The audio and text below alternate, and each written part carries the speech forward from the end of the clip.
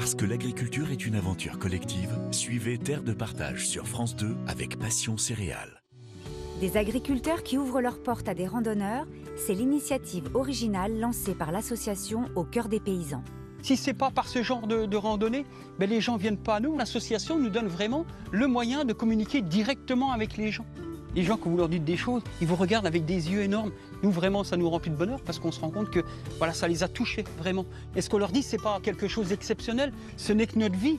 L'occasion pour ces randonneurs de passage de nouer un dialogue jusqu'ici trop rare en échangeant sur le travail des agriculteurs. Ça permet de, de rencontrer des gens euh, qu'on ne rencontrerait pas forcément dans la vie euh, de tous les jours. Je suis soucieuse de ce que je mange et je trouve que c'est intéressant de savoir comment sont fabriqués les produits qu'on achète.